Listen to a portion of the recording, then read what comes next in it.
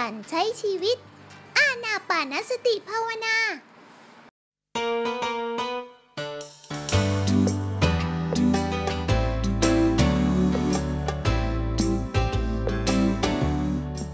ธรรมะสวัสดีครับคุณยายจ๋าธรรมะสวัสดีเจ้าค่ะคุณยายจ๋าธรรมสวัสดีจ้าเด็กๆ คุณยายเชื่อว่าการถักโลกอย่างมีธรรมที่พวกเรากำลังทำงานและพูดคุยกันก่อนที่จะมาถึงคุณยายเนี่ย มันมีอานิสงส์ต่อโลก เพราะว่าโลกภายในของเราคือใจของเรามีธรรมนี่เองลูกธรรมก็จะทำให้เราบวกกับผู้คนในโลกนี้ ด้วยหัวใจแม่ และหัวใจโพธิสัตว์ทีเดียวนะจ๊ะแล้วอย่าลืมนะว่าหัวใจแม่ไม่ได้อยู่เฉพาะในเพศหญิงเท่านั้น ใช่ครับ เราเพิ่งผ่านการทำงานในวัน สตรีคือสติที่มีผู้หญิงมากมาย ออกมาใช้สังคมและก็โลก ด้วยหัวใจแม่หัวใจโพธิสัตว์ และก็การรับใช้อย่างเสียสละ ไม่ว่างานจะหนักอย่างไร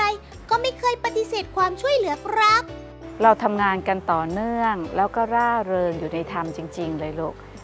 ในช่วงที่ผ่านมาคุณยายได้มีโอกาสนะจ๊ะ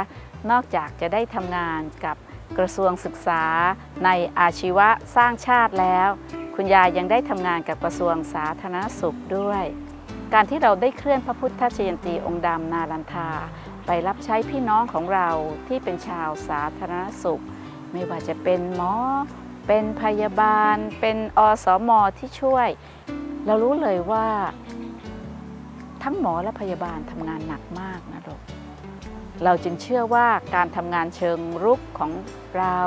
ที่จะทำให้หัวใจของนักศึกษาพยาบาล มีหัวใจของผู้รับใช้ หรือถ้าเรียกว่าเป็นหัวใจของโพธิสัตว์ก็ได้ การทำงานรับใช้ผู้คนที่กำลังทุกข์ยาก ถือว่าเป็นการถวายงานพระผู้มีพระภาคเจ้าอยู่แล้ว อันนี้ก็เป็นเรื่องที่พวกเราประจักษ์ชัดอยู่ แต่การที่เราจะได้นักศึกษาพยาบาลที่มีหัวใจของผู้รับใช้ เราต้องบ่มเพาะเมล็ดพันธุ์แห่งปัญญาลงไปในหัวใจของเขา และเด็กๆก็ได้เห็นแล้วใช่ไหมจ๊ะ ที่พี่ๆที่เขากำลังอยู่ในมหาวิทยาลัย เข้ามาเดินเล่นกับคุณยาย เขาได้มีโอกาสมาใช้ชีวิตในช่วงดีที่สุดของเขาช่วงหนึ่งของการเป็นนักศึกษาพยาบาล คือการมาปฏิบัติในคอร์สอานาปานสติภาวนาของเราลูคุณยายอยากให้เด็กๆ ใช้ช่วงนี้ลองเข้ามาปฏิบัติอานาปานสติกับคุณยายดูนะคะ แล้วเราจะรู้ว่าแค่ใช้เวลา 2 วัน 2 คืนนั้น เราจะหายใจเป็น แล้วก็ไม่ตายทั้งเป็น เป็นโอกาสที่พวกเราจะได้มีชีวิตอย่างคนที่อยู่กับโลก ด้วยหัวใจคือโลกภายในคือใจของเรา ปลอดภัยจากกิเลส แล้วสามารถที่จะรับใช้ผู้คนได้อย่างมากมาย ถ้าสนใจติดต่อเข้ามาที่เสถียรธรรมสถาน เข้าไปใน sdsweb.org ช่วงปิดเทอมนี้ เด็กๆควรจะมาปฏิบัติกับคุณยายนะจ๊ะ ส่วนเรื่องสติมาปัญญาเกิด เดี๋ยวลองไปสะกดรอยตามดูซิว่า นักศึกษาพยาบาลที่มาอยู่กับคุณยาย เขาทำอะไรกันบ้าง ตั้งแต่เช้ายันค่ำเลย และ 2 วันมันเปลี่ยนแปลงพฤติกรรมของเขาอย่างไรนะจ๊ะ เจ้าค่ะคุณยายจ๋า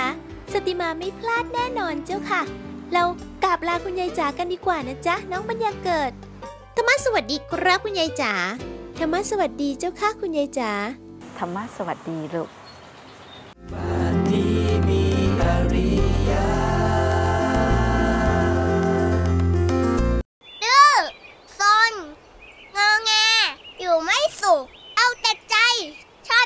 เพื่อน พูดมาก ชอบทะเลาะกับพี่ ไม่พอใจก็แงวแงวชอบเป็นเลงชอบทำตรงข้ามที่แม่บอก ผู้ใหญ่ชอบบอกว่า เราเป็นอย่างนี้ตลอดเวลา ซึ่งไม่จริง เบิร์ดเองก็ไม่ได้ต่างไปจากทุกๆคนนะครับ ไม่ต่างไปจากคุณหมอ ไม่ต่างไปจากเสมียน ไม่ต่างไปจากกรรมกร ทุกคนเหมือนกันหมดครับ เราทุกคนก็มีความกังวล มีความผิดหวัง ทุกคนมีความทุกข์เป็นของตัวเองแต่เราก็แค่ฝึกครับ ฝึกให้เห็นความกังวล แต่อย่าไปหมกมุ่นกับความกังวล ฝึกให้เห็นความผิดหวัง แต่อย่าจมอยู่กับความผิดหวัง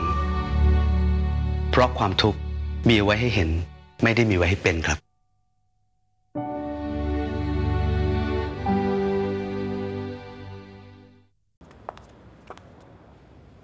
แกเองใช่ไหม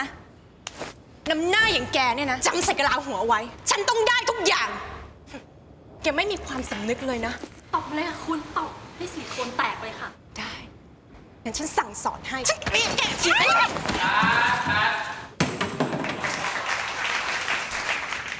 ไม่มีใครเกิดมาแล้วเป็นนางเอกได้ตลอดกาลหรอกค่ะ ความสุขของเราเนี่ย มันเกิดขึ้นได้จากการที่เราไม่ยึดติดค่ะช่วงรู้ตื่นเปิดบ้านสุขแท้จากภายใน เริ่มต้นได้ที่ตัวเราเรา มาให้ธรรมะคนอื่นเราจะปฏิบัติธรรมได้ก้าวหน้ามาก ถ้าเรามีจิตที่จะให้ มีความสุขที่ได้ให้ มีความปรารถนาที่จะให้ และไม่ว่าเรื่องนั้นจะยากขนาดไหนก็จะให้ ยิ่งยากยิ่งจะให้อันนี้เป็นเรื่องที่เราจะต้องพูดกับคนหนุ่มสาว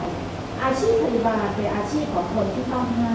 และถ้าเราให้ไม่เป็น เราคิดว่าเราให้เพื่อแลกเปลี่ยนกับสิ่งที่เราจะได้ เธอก็จะได้กลายเป็นสินค้าพยาบาลซึ่งมันก็ไม่น่าใช่ เราเห็นแก่ตัวไม่ได้เลย เพราะสังคมต้องการความเป็นปัจเจกของเราสูงมากในการที่จะให้ในระดับปัจเจกเราจะต้องทำให้คนข้างหน้าเป็นคนพิเศษสำหรับเรา อย่าทำให้คนข้างหน้าทุกข์เพราะเรา และถ้าเราเคารพคนข้างหน้า โดยมีทฤษฎีง่ายๆอันนี้คุณยายพูดในเวทีสากลเลยนะคะทฤษฎีง่ายๆคือหนึ่งไม่มีการพบกันครั้งแรก ไม่มีใครอยู่ข้างหน้า เราไม่เคยรู้จักมาก่อน และการพบครั้งนี้สำคัญนะ อย่าทำให้คนที่อยู่ข้างหน้าเราเจ็บปวดเพราเราใช้การจัดการบริหารเมื่อกี้นี่ก่อนเข้ารายการคุณยายก็ใช้สามเรื่องเนี้ยเป็นประเด็นของการจัดการแบบมืออาชีพเลยว่าทำให้เกิดพลังในการที่จะจัดรายการวิทยุวันนี้ แบบชนิดที่มีจิตที่เตรียมกับการงานด้วย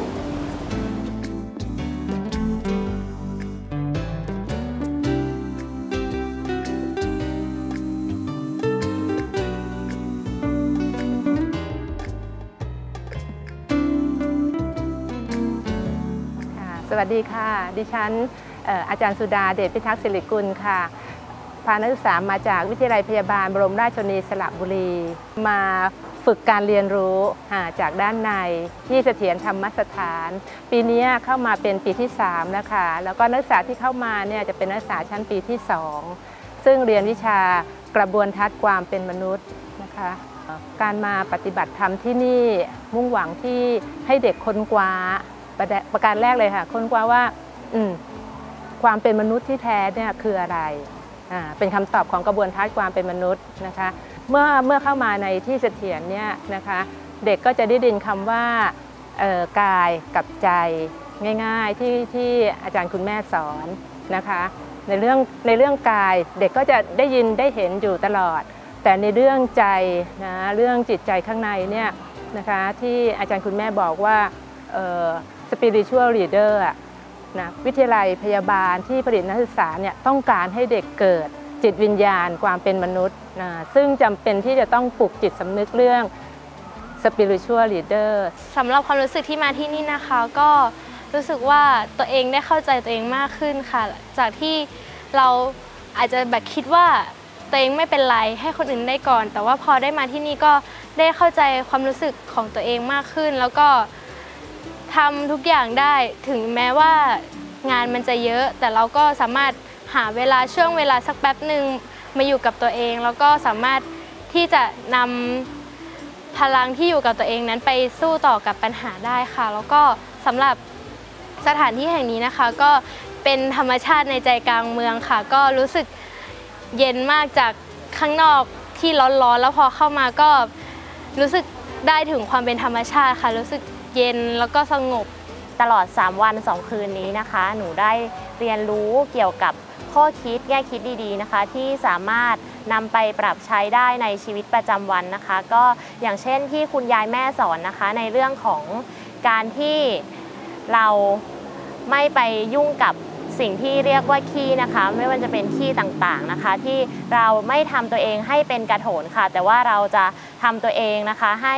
เป็นปุ๋ยค่ะ ว่าจะทำยังไงที่จะจัดการกับอารมณ์ต่างๆนะคะ นักเล็กแกดูผลงานของแกสินี่แกจะเก็บเองหรือแกจะให้หมาแกเก็บฮะอ๋ออยากมีเรื่องใช่ไหมนี่แกต้องเฮ้ยนี่ออกมานี่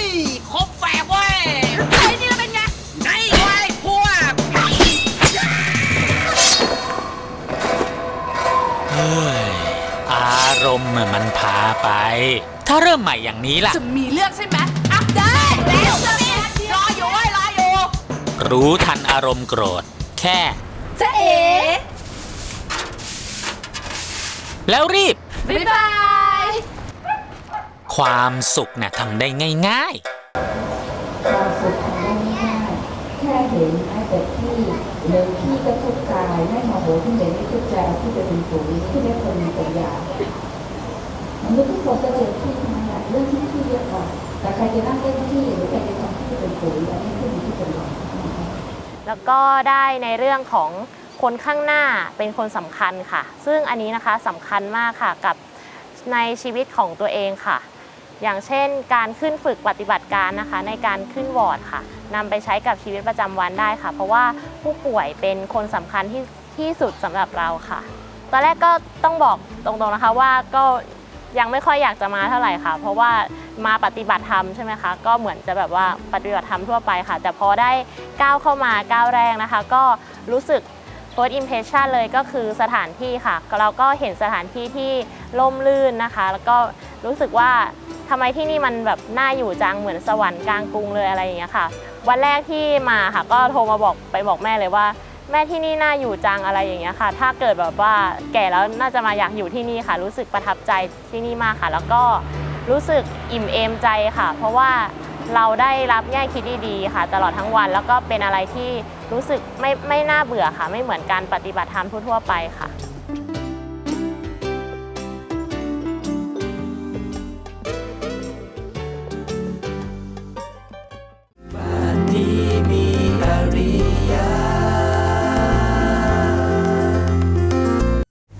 ชาวไร่ก็ทุก เป็นชาวกรุงก็ทุก ขี่ม้าก็ทุก ขี่มอเตอร์ไซค์ก็ทุก ขับรถคันหรูก็ยังทุก เป็นโสดก็ทุก ไม่เป็นโสดก็ทุก ไม่มีก็ทุก มีก็ทุก เป็นนางเอกก็ทุก ไม่มีอะไร ไม่ทุก มาหาทางทำให้ทุกน้อยลงกันเถอะค่ะ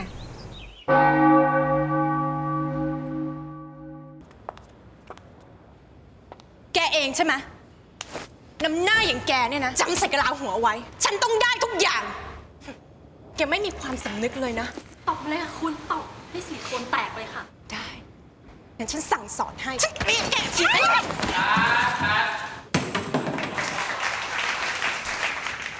ไม่มีใครเกิดมาแล้วเป็นนางเอกได้ตลอดกาลหรอกค่ะ ความสุขของเราเนี่ย มันเกิดขึ้นได้จากการที่เราไม่ยึดติดค่ะ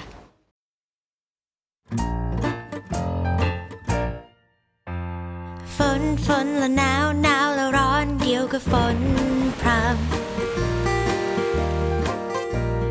ทุกทุกและร้อนเดี่ยวก็หายกลับกลายเป็นสุขสันต์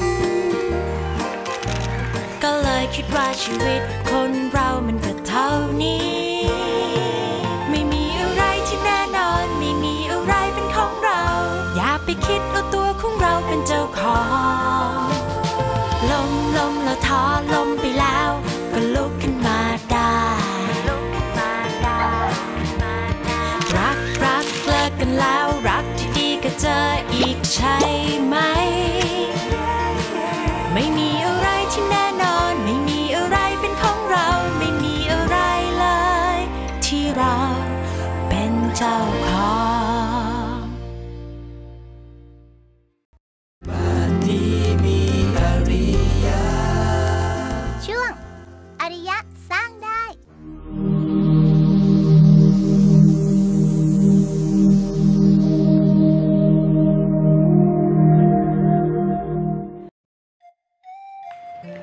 วงนี้เป็นช่วงฤดูร้อนนะคะ เด็กๆ ปิดเทอมพอดีเลยค่ะ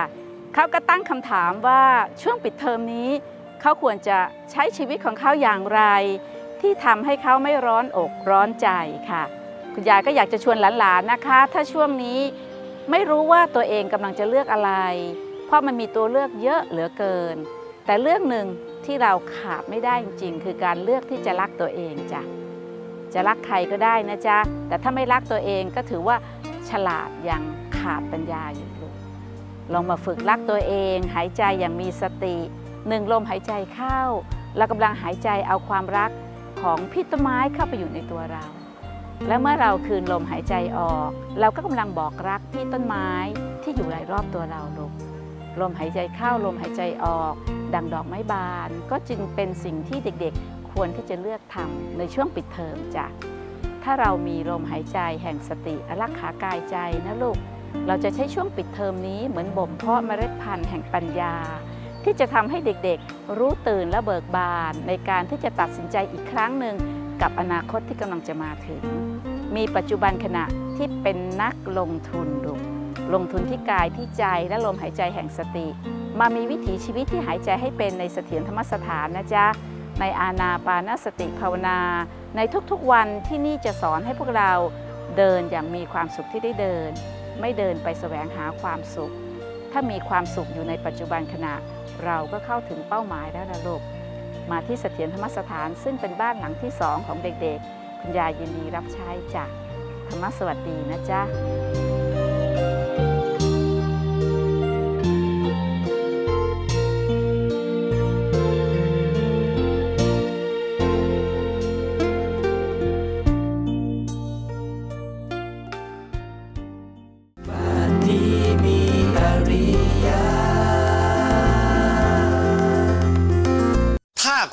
ปัญหาชีวิต หงุดหงิดเพราะอกหัก รักก็คุดอยากมุดหน้าหนีโลกโศกเศร้าเรื่องการงาน ไม่เบิกบานเรื่องการเงินดำเนินชีวิตคิดฆ่าตัวตาย คุณก็หายกำไรก็หด อยากให้คุณนึกถึง โน้ตหายใจเข้าลึกๆ หายใจออกลึกๆ ใช้สติกำหนดลมหายใจ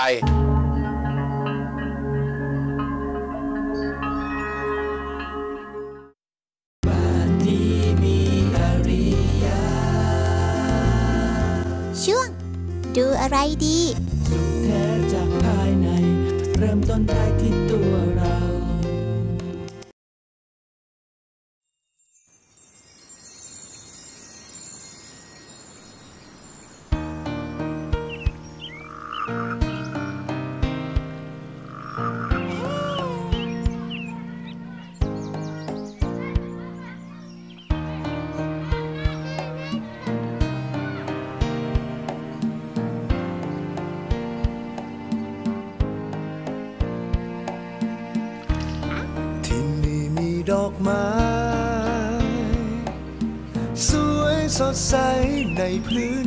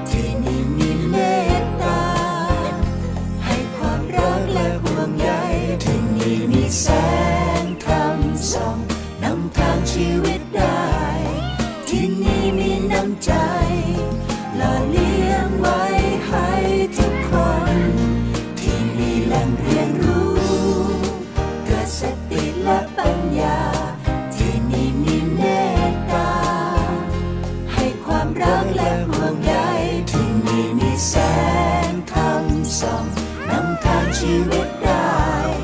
ที่นี่มีน้ำใจ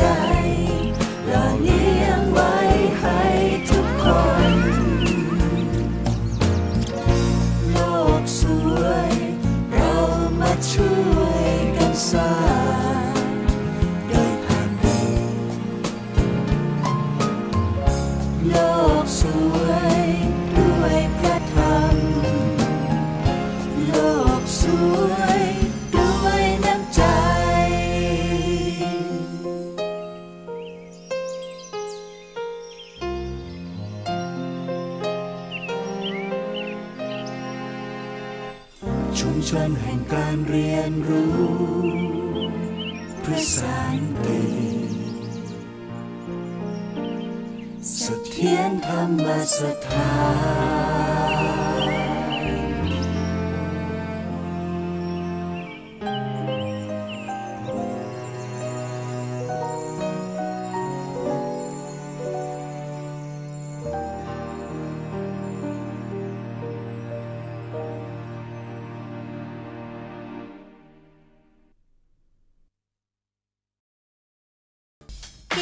ข่าวสารความเคลื่อนไหวของเสถียรธรรมสถานได้ที่ www